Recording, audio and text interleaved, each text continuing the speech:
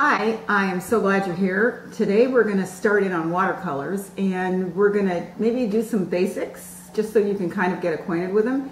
If you don't have watercolors, remember they're at my first gate um, on my driveway. And I, for those of you that aren't here or that don't live here, I would love to send you your own watercolors, but I don't have your addresses. And I feel really bad. Okay, I want to dedicate this um, lesson to my dad, Ted Rand. He was an illustrator, portrait painter, commercial artist, commercial illustrator. And I was so lucky to grow up with, with, with a parent who did that kind of thing. I would come home from school, of course, and do my homework. Mostly do my homework. Sometimes do my homework when I really should have been doing my homework. But I'd go back to his studio and um, he just had art stuff all over the place and I got to draw and draw some more and paint. And he never really gave me any lessons, but he always really encouraged me and he would point out things where I could do better. And one thing he always said was to practice, practice, practice. So, um, and I never stopped and, and I'm lucky.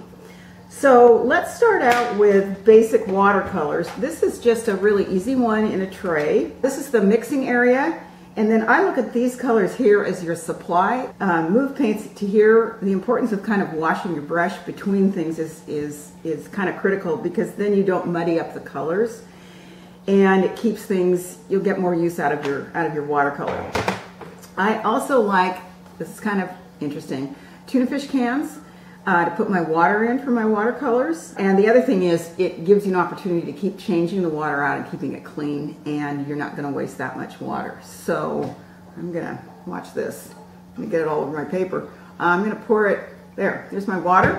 The other thing I'm going to have is I'm going to have a paper towel or any kind of uh, paper that you have that's kind of old and scrap paper that you can use for blotting or you could use a rag. A rag is fine too, like a paint rag.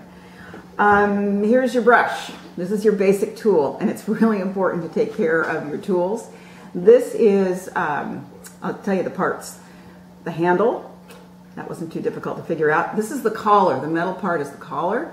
And then the bristles, or the hair of the brush, is, is the part that, of course, you, you paint with. Your brush is your friend, and you wouldn't want to take your friend and turn your friend upside down and put their head and their hair in the water and leave them there. If you do that, um, what will happen is it will cause the bristles to to kind of like splay out and you won't ever get a point. So let's go ahead and start so I can kind of give you just a little bit of, of an example here. I'm thinking about making green and you'll notice that there is no green in this uh, tray here. I like to make my own green because I can make different kinds of green. And um, But just for just kind of beginning, I'm going to grab a little bit of the yellow, okay, with my clean brush and I'm going to put it there. Notice I'm not mashing my brush into the paint because that could cause the bristles or the hair of the brush to, to snap off and, and you'd lose the integrity of the brush. That's a big word. So there's my yellow. And then I'm going to rinse my brush off here in the water. Can you see that? I'm going to do that there. And then I'm going to clean my brush off here using my paper towel. And I could also I could use my paint rag too. My dad had a paint rag. Uh, I'm going to come back in. I'm going to make two kinds of green here. I'm going to make a warm green. So I'm going to grab that warmer blue, that more tropical blue. And ta-da! There's some green. I could lighten it up with more yellow to make it more of a spring green. And then the other green I'm going to make, I'm going to come back here, clean my brush off. And I'm going to grab yellow again. Notice that my paints are staying nice and clean. And notice that I'm using just a really light touch with my brush. There's different sizes of brushes, of course, but this is the one that came with the watercolor set, and I happen to like it.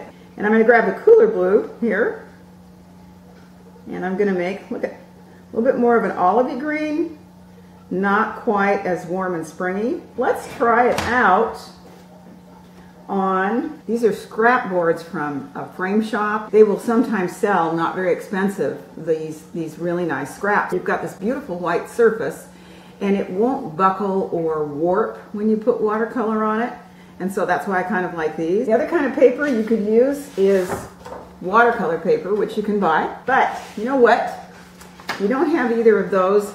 Regular paper it might buckle or warp a little bit and I'll show you what about what that is. The other thing I can use when, when doing watercolors is I cut up an old kitchen sponge and also Q-tips. And um, these are really interesting tools that you can use them just like with brushes for, for really fun effects.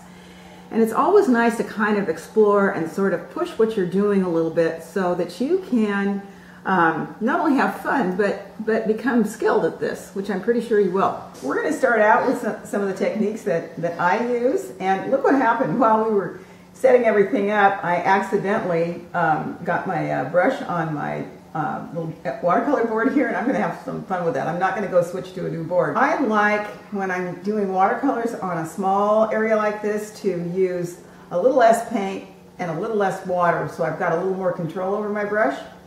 I can do something like where I go like this. I'm going to do like say grass and just just where I, I, I put the brush down like this and I quickly bring it up and away. Actually, let's do a little grass all the way across this. And we're gonna we're gonna do a bunch of these. I'm gonna kind of dry my brush off a little bit, and then I'm not gonna clean it off this time because I still like a little of that green left in here, and I'm gonna come back in with that with that springier green. Look at the effect we're getting with that. And again, I'm just putting my brush down. You know, it's kind of like having your brush dance across the paper. You don't ever want to squish your brush into the paper because that again, that's going to snap off the brush hairs or bristles and it's not going to give you as much, you know, as much control or line as you want. So that's just kind of a basic way to do grass. Here's another one. I'm going to do a curve like this. And again, I'm just pulling it away from me. Gives me a little bit, a little bit of control. I might even mix those two greens together. I can bring the point of the brush here, press down on the side a little bit, and then lift up, and I get like a little fern leaf. Again, the point, press down, lift up, And this way I'm going to do the opposite. I'm going to put the point here, press down, bring it all the way in and lift up. Press down, bring it all the way in and lift up. That's probably a little bit light. You know what I just thought? Ferns actually have their little leaves every other one. Well, look at that effect. That's kind of fun. I left a little bit of extra water on my brush. I'm going to go over these a little bit. So that this may not be an accurate fern, but we're still just practicing. Another one, I'm going to come here and I'm going to mix both of those greens together. If I want to cover color an area, I might go more like this, where I'm using a little more of the side of the brush. I could go like this. And again, I'm not squishing my brush into the page. Another way you could do it, you could actually, if you wanted to this way, is add a little bit of water like that and come back in and color over that you're going to get some pooling or some puddling, which is going to give you kind of a, a nice little texture. Now here's another technique. I'm actually going to use a different color. And notice I'm cleaning my brush off, wiping my brush very carefully on my paper towel. And I can also use my paint rag. I kind of, actually I prefer the paint rag. It reminds me of my dad. I'm going to use this color here. It's kind of a beautiful sort of kind of a pinky magenta color. And watch this, this is going to be kind of fun. This is called sort of bleeding. And if I put a bunch of water down on my board here, and I pick up, I could either have it come from here or from there. It's going to be a little more concentrated from here. And I drop it in. Look what that does. So that's kind of another fun technique. These are all things that you can practice. If I clean my brush off again and maybe decide, huh, I'm going to try another color here. I'm going to try that orange and I'm going to drop that in. Look what happens. It's almost like tie-dye without the tie. So again, that's, that's a technique there. Here's another one. This is called a dry brush technique. And what I'm going to do with that is I'm going to really dry my brush off and I'm not going to dip it into the water before I put paint on it. I'm going to try another color here. I think I'm going to try that bright blue. And you see how I'm going to do that same grass stroke that we did earlier. You see it has a different texture and a whole different look to it. And again, I'm hardly using any water at all and then just the paint. Let's try, I'm going to put my brush away. First off, make sure that it's clean. And I'm going to put that down. Let's try using, this will be kind of fun. Let's try using our Q-tips And here's what we're gonna do here. I'm gonna do like, like one of those Y trees, like this. Maybe I'll do a bunch of my Y trees, like this. And I'm gonna come back and I'm gonna use the Q-tips here. And let's see, I think what I'm gonna do is, I might use that, I really like that pink and I still have some left over here. So I'm gonna put it on my Q-tip and then I'm going to, look at that. It's like printing with this and it's gonna be relatively the same size. Look at that, looks kind of like cherry blossoms, doesn't it? And what I kind of like is the unevenness and so that there's like a dark area to your, to your um, little spots you're putting on here. Wow, look at that, okay? And I'm gonna go back to my brush pick a little of that paint that we used before and then do some tiny of those little brass strokes that we were working on. And look, I've got some trees growing out of a meadow. And maybe I'll put one of those birds back in there again. But anyway, that's just a little example. This is not at all a full range of techniques to use, but this is just a way to kind of get you started. This is uh, the bleeding technique we did. And you could either let it dry like this, or for a different effect, you could take the clean side of your uh, paper towel, and you could do what I call blotting, like this. You could blot it, and look at, we get kind of a fun effect here, but you're gonna get a little bit of a different effect there. And another thing you can do, I've watched my students do this, yes, I'm just gonna kind of show you this.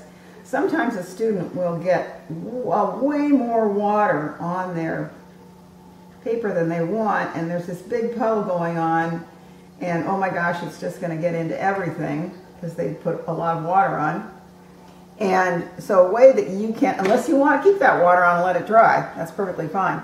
But you can take your um, paper towel and you can tear it and then kind of come up here and have that paper towel just sort of soak up any of that extra and it doesn't it doesn't change my shape at all.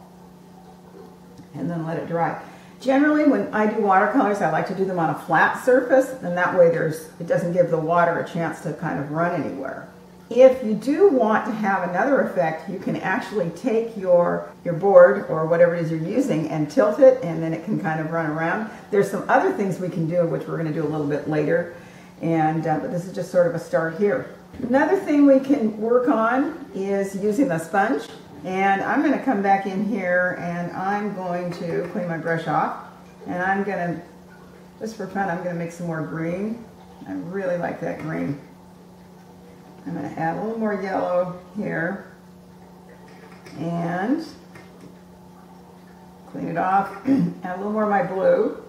I have to admit, sometimes I'm not as good at keeping my brush clean. So I'm gonna uh, paint my, my um, sponge. I could paint it like this, or I could take my sponge and I could just put it right down there. And then I could do, oh my gosh, look at that really interesting effect. I wonder what those could be. I'm thinking, well, they could be anything. But just since we've done it before, I think maybe I'm going to bring my pencil back in again. Could be a tree like this. You could put some branches kind of growing sort of in there so it looks like that. Or you could take your brush, again, clean it off. Grab, I think I'm going to just, for the heck of it, I'm going to use a little bit of black, just a tiny bit. Now here, I want to have a really fine line. So with my brush, I'm to kind of keep that tip there until I get, I think, just about enough black on this as I want. And that could be a trunk here like this. Oh, that was a little less than I thought, which is always kind of nice. With watercolor, you can always go darker, but it's really kind of hard to go to go lighter. I'll do another branch right here, or another trunk like that. My trees don't have to be green, by the way. They could be orange for fall. They could be pink for spring.